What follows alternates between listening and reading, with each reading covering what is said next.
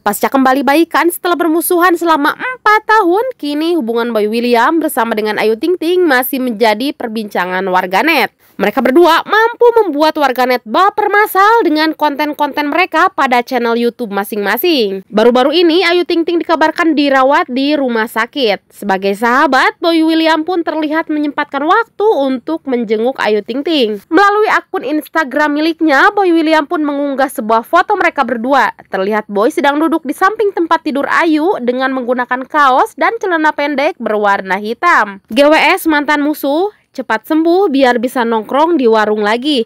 Tulis Boy William dalam postingan tersebut. Sontak saja postingan tersebut pun mengundang reaksi warganet. Banyak dari mereka yang mendoakan untuk kesehatan Ayu Ting Ting. Ya Namun selain itu banyak juga warganet yang baper dibuatnya.